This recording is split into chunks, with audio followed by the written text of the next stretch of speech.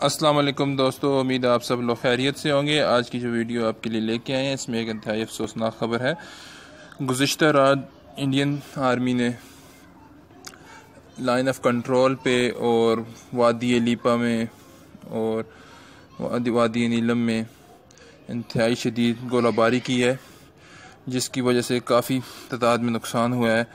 پاکستان نے بھی جوابی کارروائی کی ہے، لیکن پاکستان اس طرح کھل کے جوابی کارروائی بھی نہیں کر سکتا، کیونکہ دوسری طرف بھی جو ساری آبادی ہے، وہ مسلمان، کشمیری آبادی ہے۔ پاکستان کی کوشش ہوتی ہے کہ زیادہ سے زیادہ انڈین آرمی کو اٹیک کیا جائے۔ تو وہ تھوڑا مشکل بھی ہوتا ہے، کیونکہ ڈھونڈ کے اٹیک کرنا پڑتا ہے۔ تو انڈیا والے تو اندھا دھند گولہ باری بھی کرتے ہیں، اندھا دھند فائرنگ بھی کرتے ہیں۔ جس کی وجہ سے آبادی کو بہت نقصان پہنچتا ہے۔ یہ آپ دیکھ سکتے ہیں، کافی سارے مکانات کو شدید نقصان پہنچا ہے۔ کئی مکانوں کی چھتیں گر گئی ہیں کہیں کی دواریں گر گئی ہیں کہیں میں شگاف پڑ گیا ہے۔ کہیں گاڑیاں تباہ ہوئی ہیں۔ یہ گاڑی کی آپ حالت دیکھ سکتے ہیں کیا ہوگی ہے۔ یہ چھت میں دیکھیں کس طرح سراہ ہو گیا ہے۔ انتہائی شدید قسم کی انہوں نے گلباری کی ہے، جس کی وجہ سے کافی تعداد میں نقصان ہوا ہے آزاد کشمیر کے علاقوں میں۔ انڈیا نے اب یہ پالیسی اپنا لی ہے کہ انہوں نے دو مہینے سے زائد ہو گیا ہے۔ مقبوضہ کشمیر پر کرفیو لگایا رکھا ہے، جس کی وجہ سے کشمیریوں کی جینا محال ہو گیا ہے۔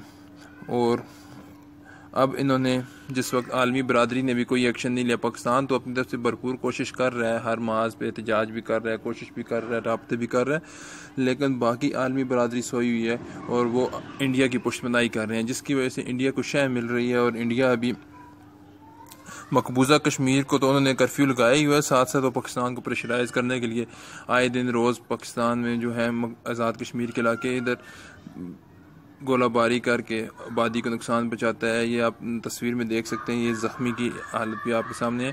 کئی افراد مزید بھی زخمی ہیں اور ان علاقوں میں نیٹ ورک بھی کوئی اس وقت کام نہیں کر رہا، جس کی وجہ سے نیوز بھی اتنی جلدی باہر نہیں آتی اور ہمارا جو میڈیا بھی ہے، میڈیا بھی اتنے زیادہ تفصیل سے ان باتوں کو نہیں بتاتا، حالانکہ کافی تعداد میں نقصان ہو رہا ہے۔ ہماری آرمی سے اور حکومت سے گزارش ہے کہ انڈیا کے خلاف سخت سے سخت ایکشن لیا جائے، ان کو بھرپور جواب دیا جائے۔ جس طرح ستائیس فیبرری کو ان کے جہاز گرائے گئے تھے، اسی طرح ان کو سبق سکھایا جائے تاکہ یہ پھر ان کی آنے والی نسلیں بھی یاد رکھیں، ان کے ان کے خلاف شدید کروائی کی جائے۔ فوج کو اجازت دی جائے کہ فوج ان کے خلاف بھرپور ایکشن لے تاکہ ان کو چھٹی کا دودھ یاد آ جائے، کیونکہ یہ دن بہ دن ان کی جو نپاک عزائم ہے ان میں اضافہ ہوتا جا رہا ہے، جس کی وجہ سے عام عوام کو شدید نقصان کا سامنا ہے۔